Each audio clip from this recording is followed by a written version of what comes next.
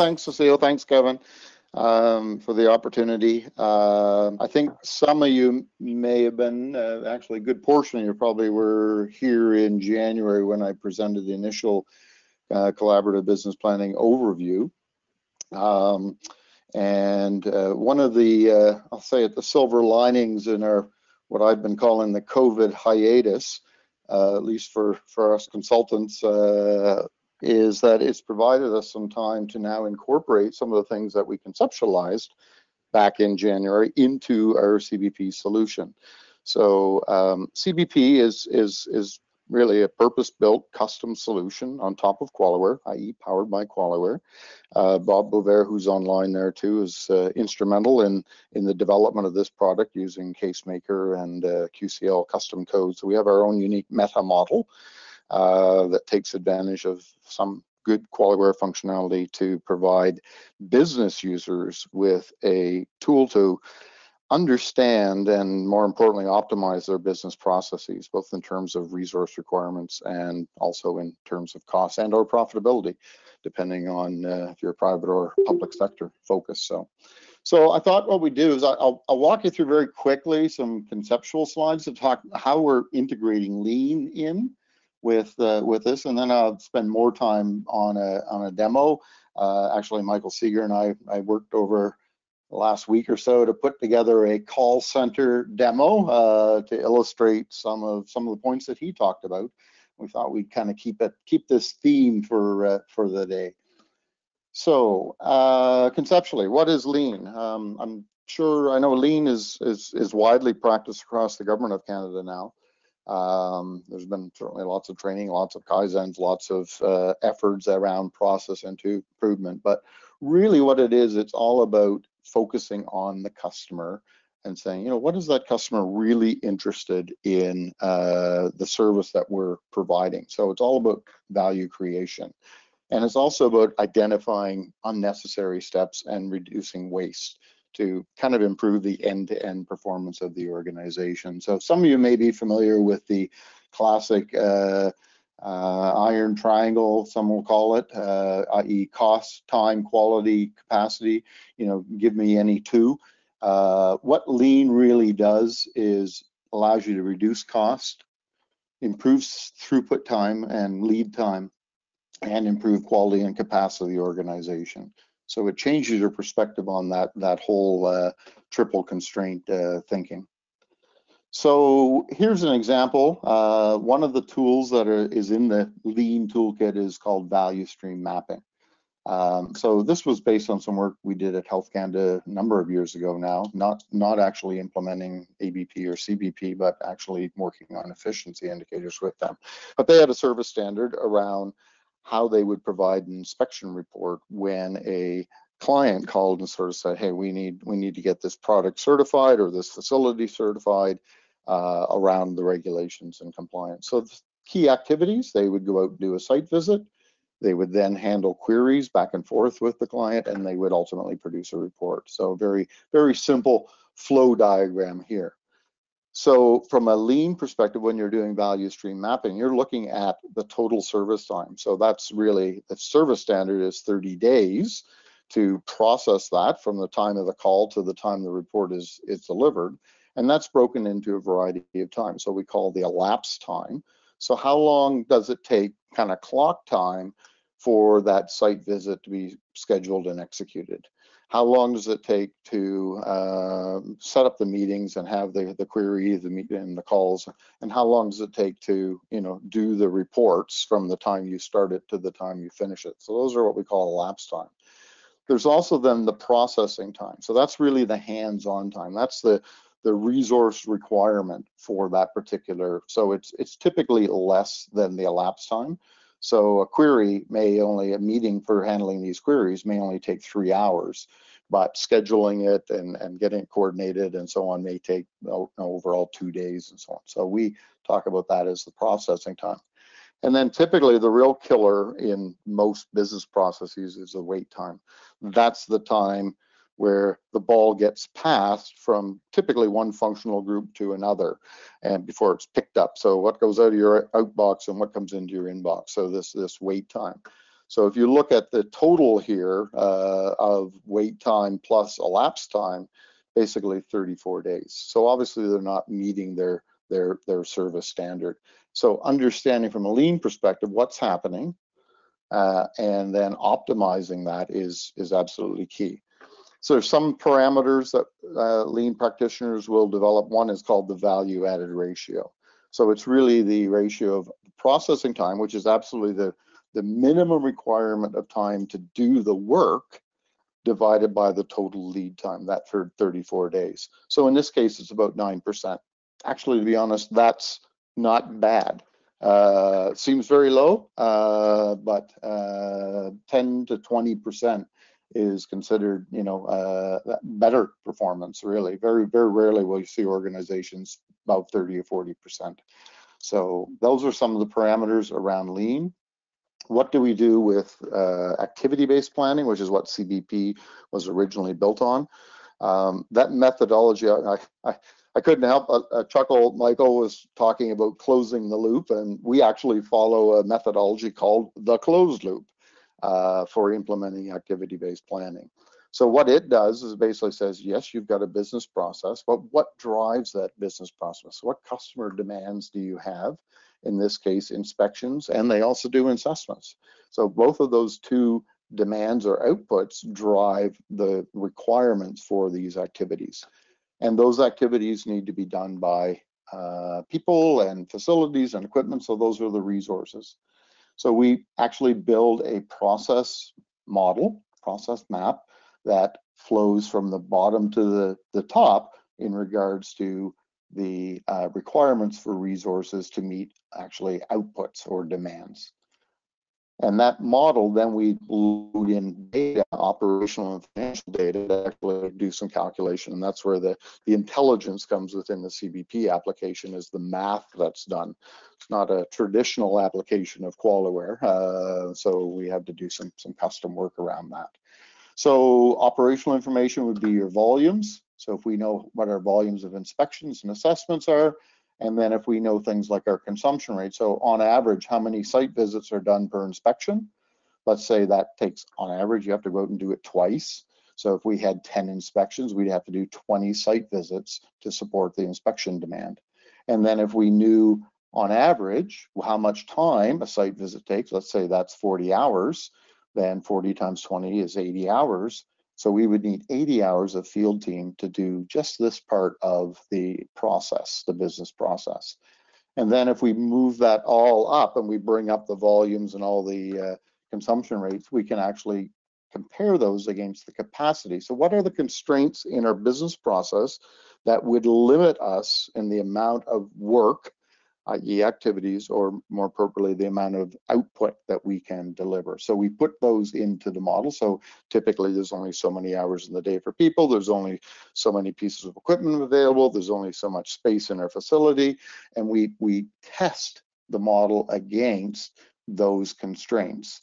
So then we, assuming we can actually physically do this, we can then look at our financials. So we map the financial, your expense statements into the resource structure. That's really what the resources are. You pay for your resources, you pay for your people, depreciation on equipment, uh, lease, you know, utilities, whatever on buildings. You pay for maybe external contractors, and then you pull those dollars back down through the model. So we can get at things like the activity cost the demand or uh, output cost and even the customer cost. So our customers typically would take a variety of uh, requirements or demands from our organization. And if you're in a uh, either in a cost recovery mode where you're charging for some of those services, or if you're in the private sector and you're you're uh, you know uh, putting a putting a revenue stream on that, you can actually determine what the profitability is on a on a customer or product service basis. So again, I know that's a bit of a rehash for some of you, but kind of important to understand the kind of two pass operational calculation, comparison to capacity to determine utilization, and then pulling those dollars back down through the model through the operational understanding that the first pass is done. That's why we call it the closed loop. It, it kind of uh, up and up and down to close that loop. So with lean, what we do is lean practitioners will do a great job at mapping this all out with their value stream maps. And now what we can do with a, with CBP is we can do that same visualization. We can load that uh, with regard to our resource requirements to do those activities and get at the, the, capacity to serve. And then because we can handle the financials as well, we can actually get at the cost to serve. So this addresses a, a, a really a, a big gap in most lean implementations in that lean is great for identifying process improvement ideas, uh, and, but it's not so good. There's not uh, very many tools that allow uh, a lean practitioner or a lean team to understand the resource impact of those changes uh, or even more appropriately, the cost impact of those changes. So that's what, what CBP brings to the equation, allows you to do your value stream map, marry that with what we call our activity-based planning uh, uh, maps, and uh, allow you to do scenario planning into the future. So, okay. Mike, enough. my experience in talking with some lean practitioners is that they actually don't have a lot of tools to support that kind of work you know, it's a lot of uh, drawing on boards and sticky uh, sticky notes. So something like this puts a lot of structure around it. Yep, absolutely. Uh, even even in the value stream mapping, and I, we work with a variety of partners, lean lean implementers, um, and you know the, the the best tech that I I've seen is is somebody that's you know skilled in Visio. Uh, and it is uh, this this timeline here that you see. That's an important thing for an understanding point of view. So you can appreciate drawing that out in in Visio. The the challenges you'll have in in, in, and even even in Qualiware, I mean, uh, in being able to collect information out of an object and put it appropriately in the timeline. So we'll show you what we've done with CBP to uh, to uh, streamline that. So, okay, so let me uh, let me get out of there. Let's go into this model. Um, so again, just a, a, little, you'll, you'll recognize the QLM interface. Uh, and I'll just explain a few things here for the uh, at heart. Uh, so we have all of our different symbols. So these would be all the objects that we would associate with any any diagram. And we have two types of diagrams. So if we go over, let me just show you the repository explorer. So these are all the all the the, the, the uh, components that that sit, and we have value stream diagram, and we have an ABP diagram. So right now we're looking at the ABP diagram. So let me take you through what this is all about. So we've we've only dealing as an inbound call center. So let's say this is the uh, CRA one that uh, that uh, Mike uh, Michael walked us through, um, and we look at how many calls per day. Uh, so we can say everywhere you see these little green V's, those are variables.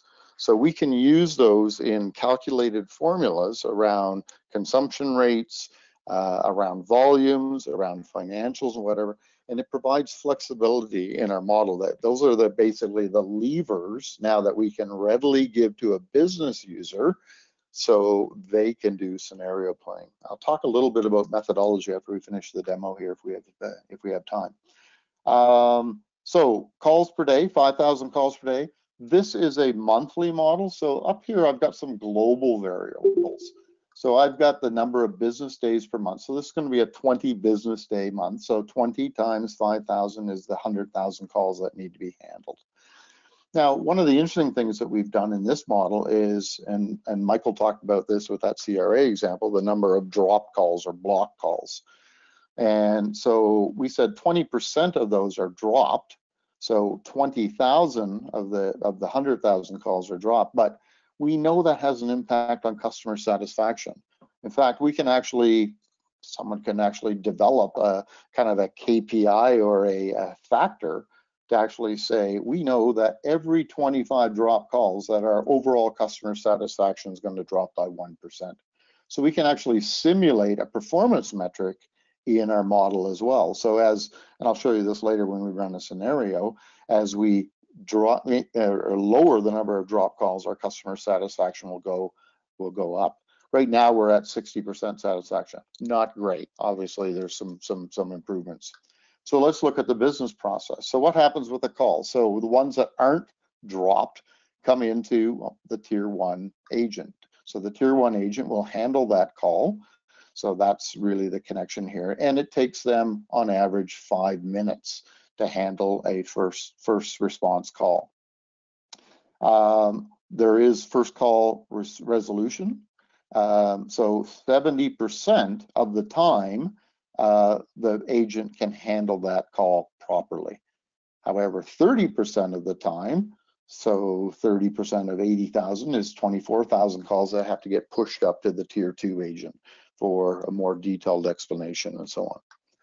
So what we're seeing here is, is kind of an efficiency factor of how well the tier one call is, is working. Um, I've also got some training that's taking place over here. So Michael and I actually worked to build this model. One of the, one of the reasons was to you know keep the theme here today for call centers, but also to show the value of having better training and uh, and and its impact on the organization to understand what the cost benefit could be of implementing something like Interact Coach or better training methodologies and better tools within a call center. So we're going to come back and play uh, with with that. Uh, that training, just so you see, there are some variables here. So we said basically every every week they will run a training session. So in a course of a 20 day month, we would run four sessions. And typically about 25% of the tier one agents will attend a session and that will be a full day session, seven hours. Okay, so seven hours is actually the same amount of practical time that an agent is available for work. So that would be maybe paid eight hours, but net out lunches, net, out breaks and so on. So that's the practical time an agent is available. So the agent itself uh, basically is comprised of, you can work some overtime, so we can simulate overtime expenses at, at a higher cost, at a higher unit cost, of course, um, and the actual uh, fixed resource. So we have symbology here. So these home plates represent fixed resources. That means their costs do not change over the time period of the model. And then we have a variety of variable resources. So overtime is a is a demand driven thing. So we can turn that on and off. We pay on an hourly basis. I've also got some other uh, call center related uh, variable expenses. So the number of SIP channels. So that's like your your sort of like your telecom trunks. How many how many of these SIP channels uh, can do we need to support the number of calls? We've got uh, cloud uh, telephony now that's that's available from a variety of vendors. So instead of uh, companies buying or organizations buying their own AVR or automatic call distribution, basically they can buy a package and pay on a per user basis for that particular service. So we've kind of outsourced the uh, telephony uh, component for this call center. Um, so continuing up here, we've got tier two calls. So that's the result of not these calls being transferred. So there is some transfer time. So you, you, everybody can identify with this. This is kind of interesting about call centers. So you know when you say, okay, yeah, I need to get to the next level here, uh, but the the guy that you spoke to has to do the introduction, and then the other person comes on the line. So there's some time taken for that tier one agent to do the transfer to tier two, and then the tier two agent gets involved and because this has already been escalated, maybe the supervisor has to be called in. So we can actually simulate that. So we say, okay, well, these types of calls, once they've been escalated, maybe 10 minutes, and that would be uh, for both the supervisor and the and the uh, T2 agent.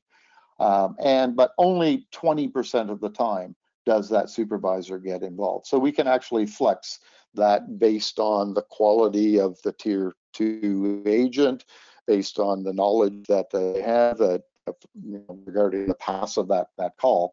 So we can flex that as well. And then the tier two agent basically is involved in that, but they also have callbacks. So at some point they say, hey, I got to go do some research. So similar to what Mike walked us through with the CRA example, uh, when he was the mystery caller. Uh, and we use these uh, these purple symbols here are actually what we call connectors. So I've got callback that actually connects back down here. So it just allows me to move things appropriately and avoid kind of a spaghetti network on the on the uh, on the diagram itself. So I've got what uh, would be called complete and accurate. Percent complete and accurate is a lean terminology to designate how uh, how well you do any activity the first time. So we're saying complete and accurate is 90%, which means that incomplete and not accurate is 10%.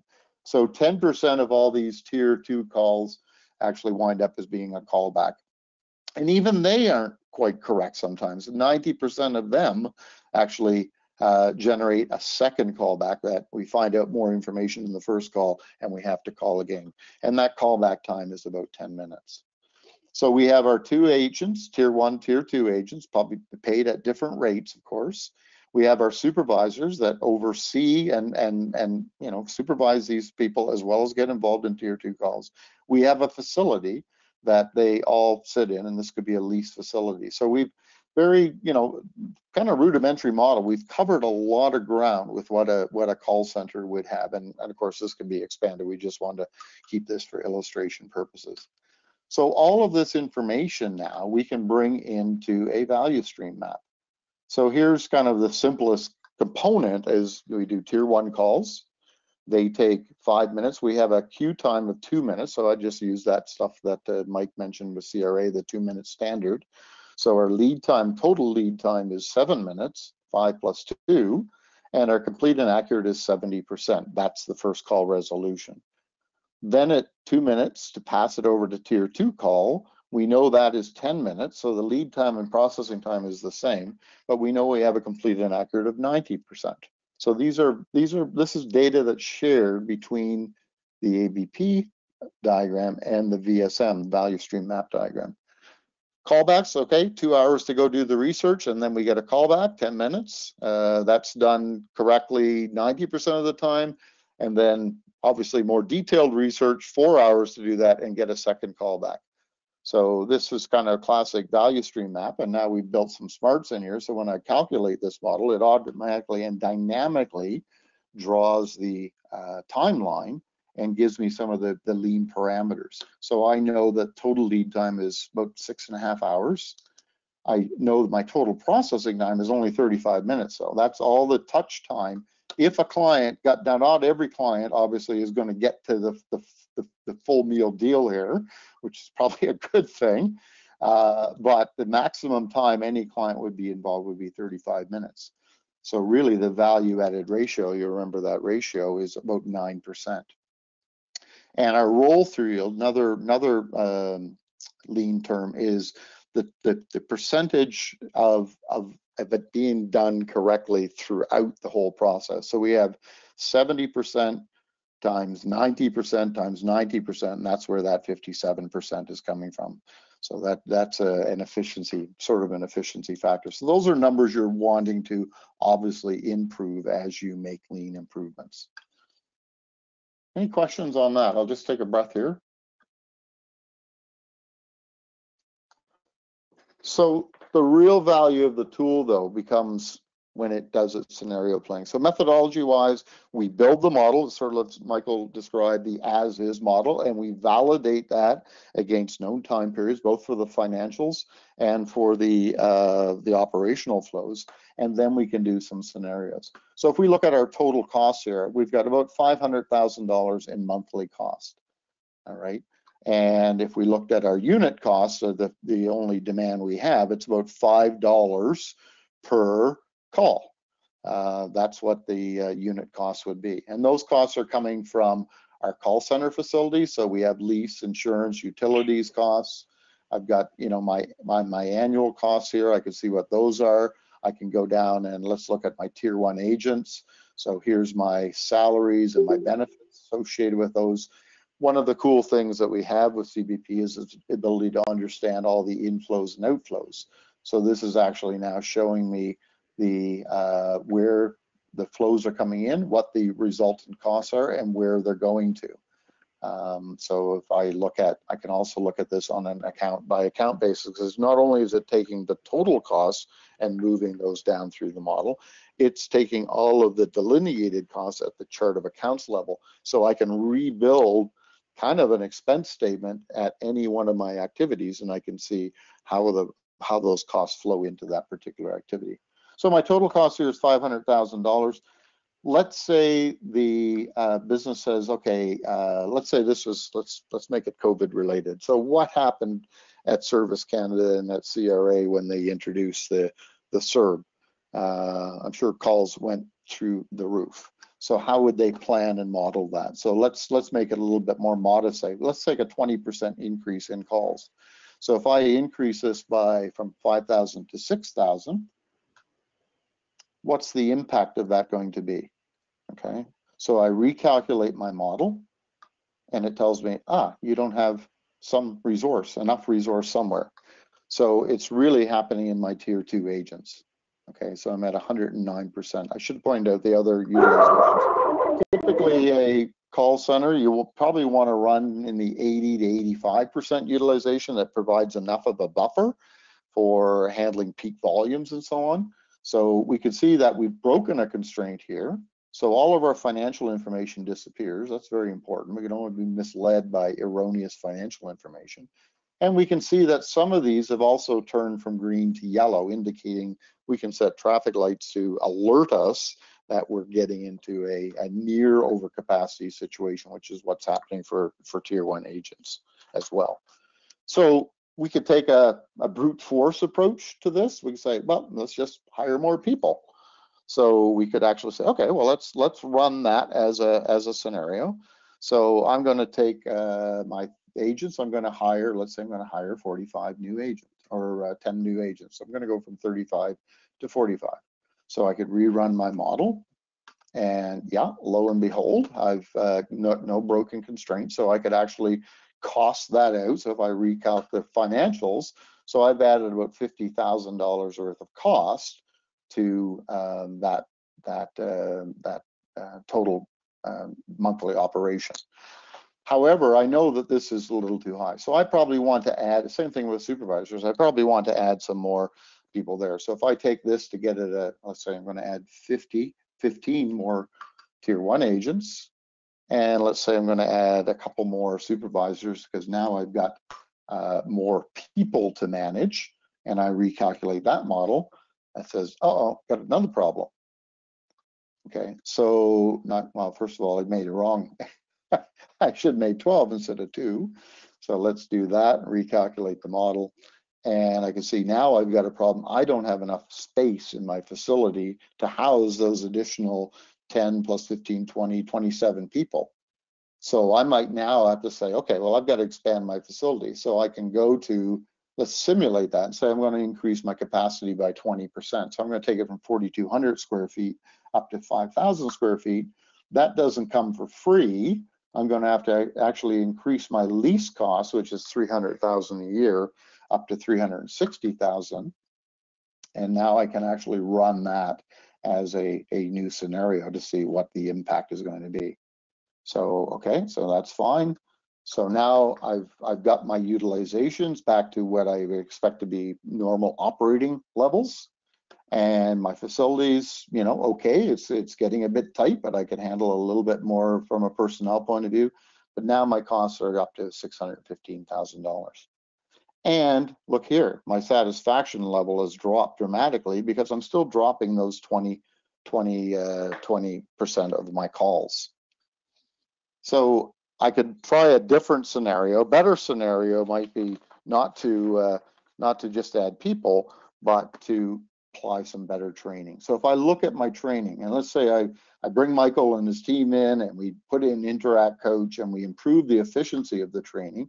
So A, we don't need as many agents on these regularly scheduled sessions. So I'm gonna take that from, let's say, 25 to 10% of the agents have to do. And that time will be, be it's more focused. So let's, instead of seven hours, let's make that three hours and see what the impact is. So if I watch my utilization, 81% here, and now it goes down to seven. So I've freed up capacity, but that training and the tools that we would put in place by using, uh, say, Interact Coach, that's going to have an impact on first call resolution as well. So now I'm going to handle more on first call. So if I go from, let's say, 70 to 80% first call resolution, that's going to make a change. And I can also find out that the, the calls that are coming, they're better informed. So uh, the amount of time, let's say the supervisors or the tier one, um, tier two agents are spending might be reduced. So maybe, that only goes from 10 to five minutes calls now because a lot of the, the tough ones have been handled by the tier one agent and maybe supervisors only get involved 10% of the time. So if I rerun all of that as a scenario, and this is one of the you know in, interesting things with having these ABP models is your ability to kind of you know scenario play at the, the speed of thought. Um, so we can recalculate these models.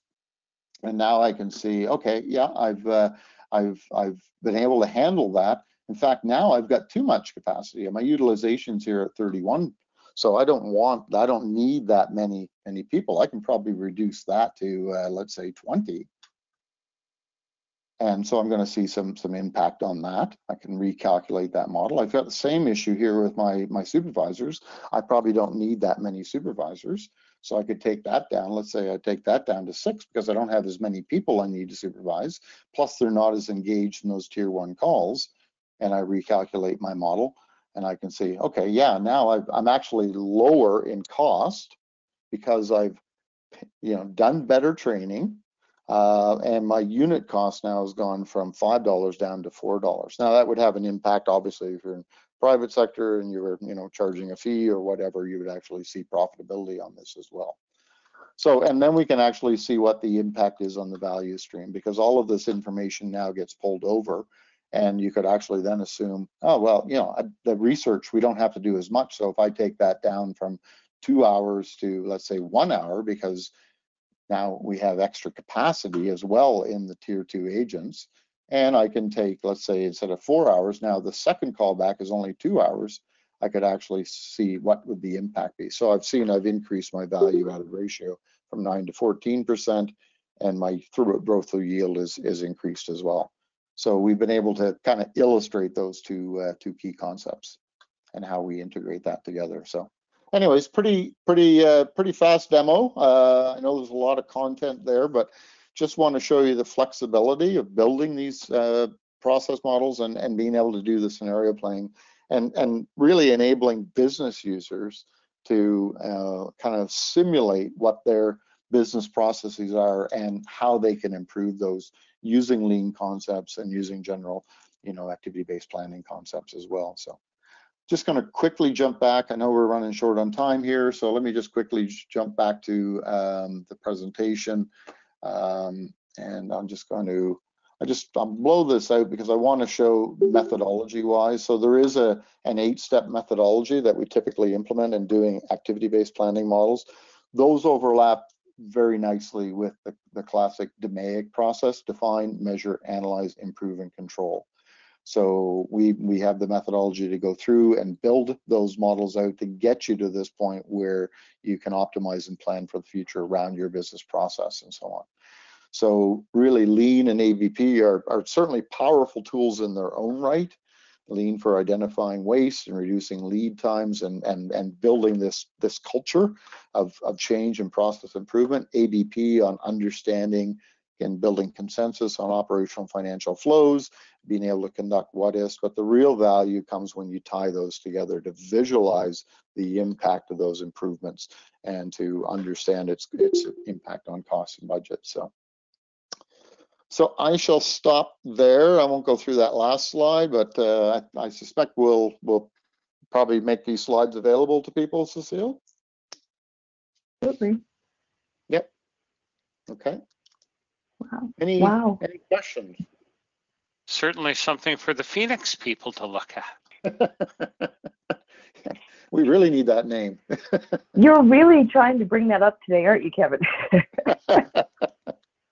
Mike, that was an amazing uh, demo. I really love what you did with that, like the uh, the what if analysis and scenarios. I think that's amazing.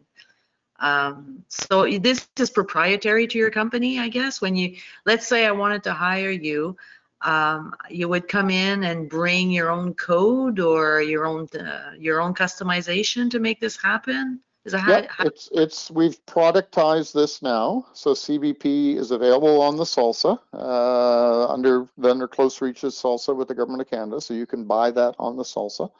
Um, and as an add-on, you have to have, you know, QualiWare obviously is the platform. So if you're Mhm. already licensed for that, you don't have to uh, invest in that, and you can, you know, plug CBP on top. So Um, is this only for service desks or could it also be No. used for IT plan? For everything. No, No. anything, any business Anything. process, yeah. That's- We just, we just did this, this, yeah, we just did the call center example to kind of keep the theme for the day Yeah. as it were. Mike, no, you did it for uh, lending for Nova Scotia, right? yep, we've done some work with the Nova Scotia government. We've done some work for uh, Marine Atlantic uh, in running the ferry operations back and forth to Newfoundland. We're working now with a company called Eden Valley Poultry, who are the largest chicken uh, processing facility in Atlantic Canada. Supply all the KFCs. Anytime you're eating KFC in Ontario, you're you're eating Nova Scotia chicken. Just wanted to pass that along. So tell me, Mike, or actually my question is more to Cecile, if I wanted to show this to any of our managers to, to show the capability of the tool, because I think that's lacking a lot. Um, it, I could, could I send them a, a link to the video today? Is that uh, available for? You absolutely can send them a link to the video. We will be, we'll be processing and uploading the recording to our YouTube channel. But you, al- Mike is also available to provide live demonstrations as well. So you can certainly, um, you know, we can set something like that up as well. If you want to do a little teaser with the video initially and then arrange for Mike to have a discussion with them, we could certainly do that as well.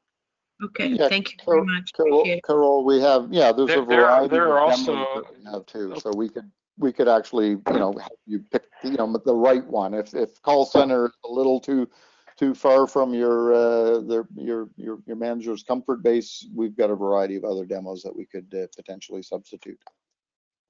All right. So the other thing is there are already a couple of other presentations that's Mike, that Mike has given on our YouTube channel. So there's a couple of places to start, you know, a couple of things to look at there.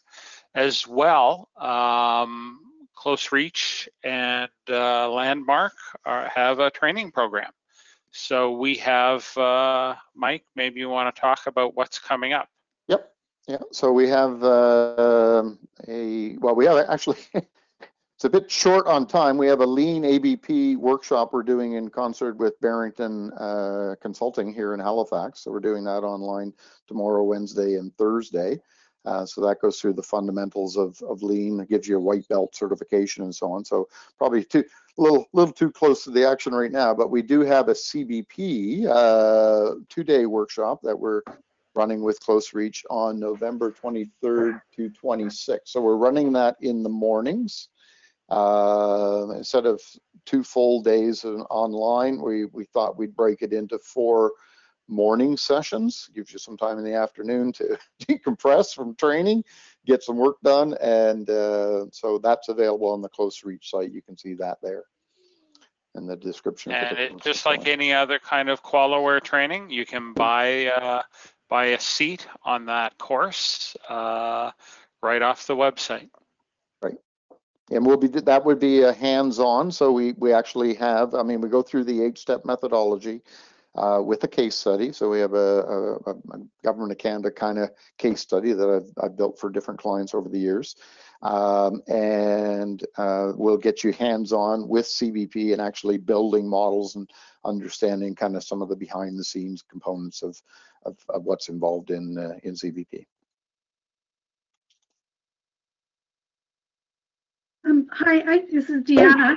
I just had a quick question about, um, um, it's a good presentation. Um, just wondering if you've ever come across, uh, where you had something that's a little bit more hard to, uh, identify with, um, so like Oh, yeah, downtime with equipment or, um, You know, That's actually, be honest, easier. My, my background is manufacturing, so I started doing this work uh, with a very similar tool uh, many years ago, and, and manufacturing operations is, you know, classically where costing profitability. So um, there, there is, I've, I've been at this for almost 30 years now in, in, in helping modeling. I mean, this is new. CBP is new because we've built it on the QualiWare platform. Uh, but methodology wise, we've been implementing this for almost 30 years. So there's there's not very many business processes we've not come across, and we've we've never been stumped yet. But, th- but this is a very simple model. Um, some of the stuff that Mike has shown us, and you know, some of it was visible in those other uh, recordings. You know, for the ferry service and Nova Scotia lending, quite complex, like hundreds of activities. And you know, here you only see a few connectors. Well, Yeah. on those models, there's a lot. And if you if you had actually drawn those lines, you'd never be able to see the model. So Yeah, yeah. connectors really uh, fill uh, fill a need. I think the, uh, the challenge in the government is collaboration with the finance people and the strategic planning Yep. people and the enterprise architecture people. Like, it's hard for, to, to build an enterprise when you have silos, you know, and, uh, be able to do scenarios, you absolutely need the collaboration from multiple frameworks within an organization to make this happen.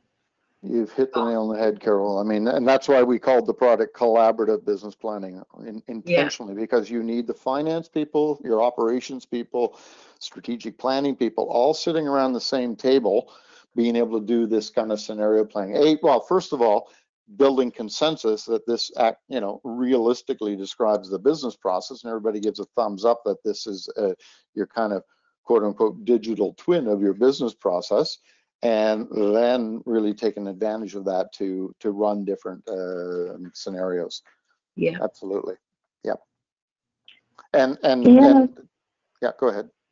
No, just go ahead, Mike. Just finish your thought first.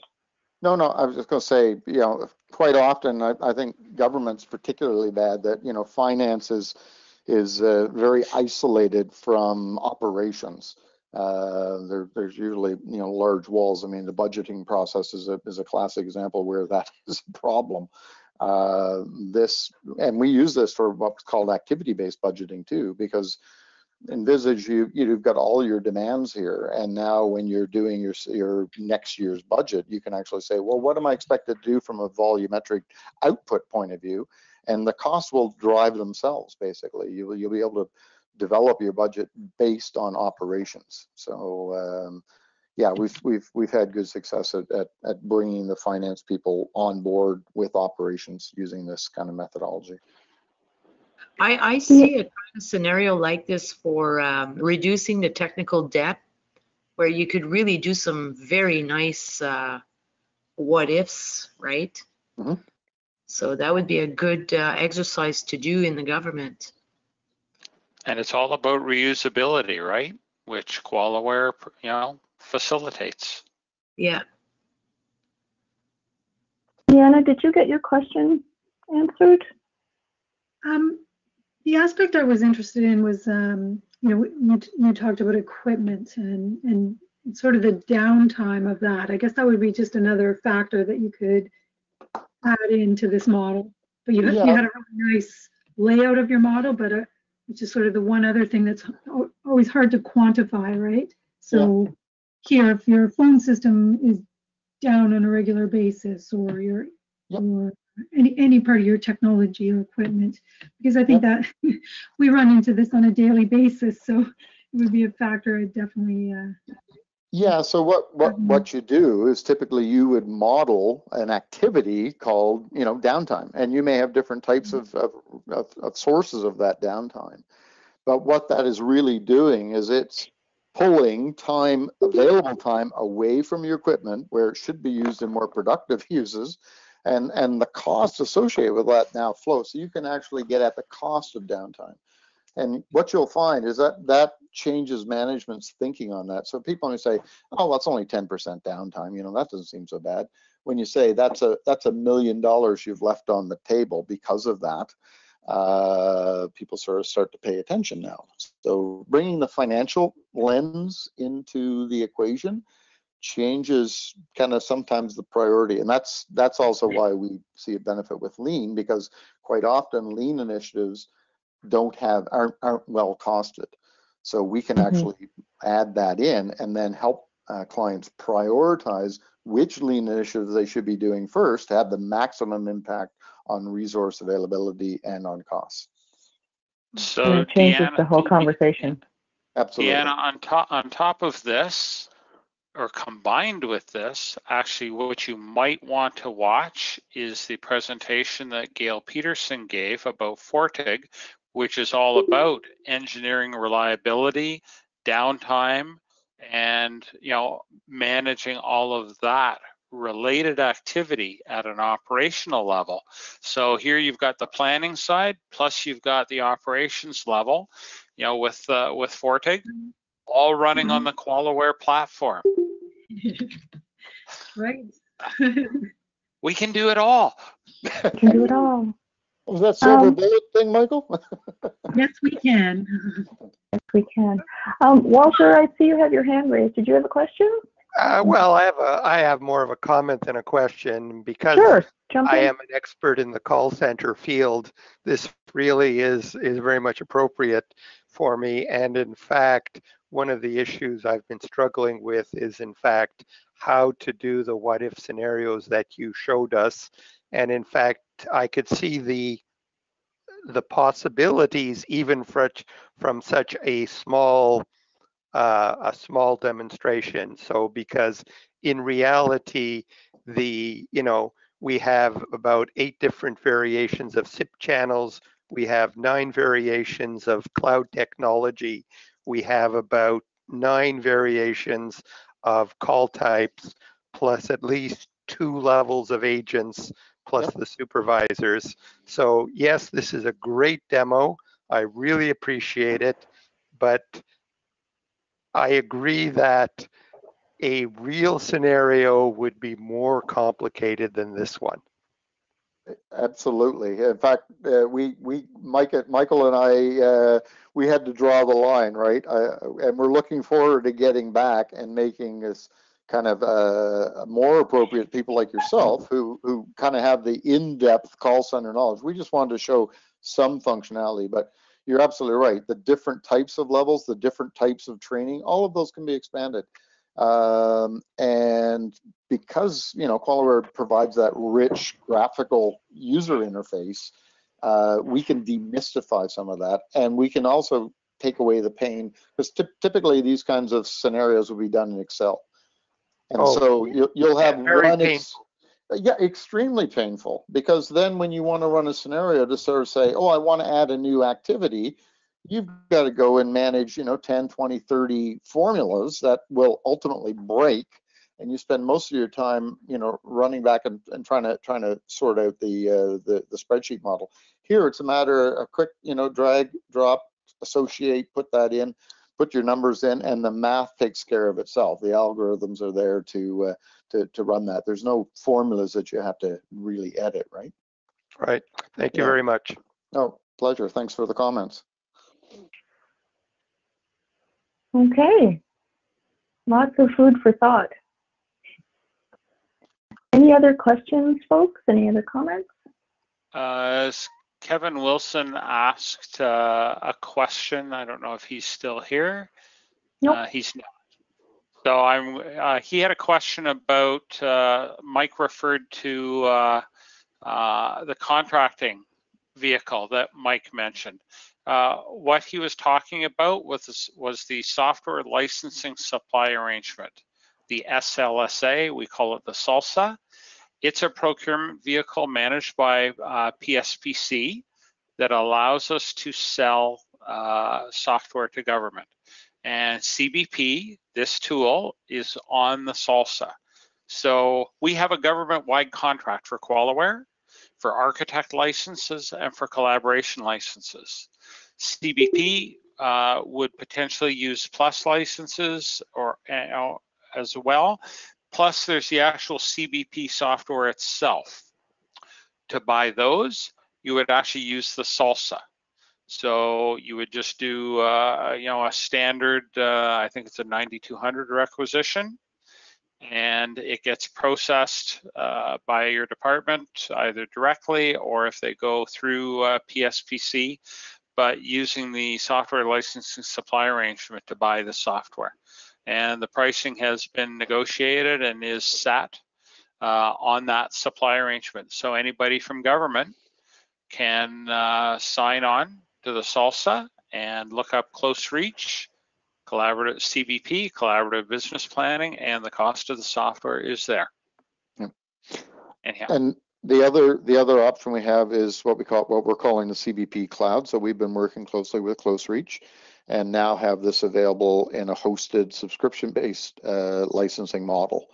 Um, so a lot of the clients that uh, want to uh, avoid some of the challenges of internal IT installation, ongoing support for on-premise uh, can take advantage of that as well. It was another another benefit of the COVID hiatus for us.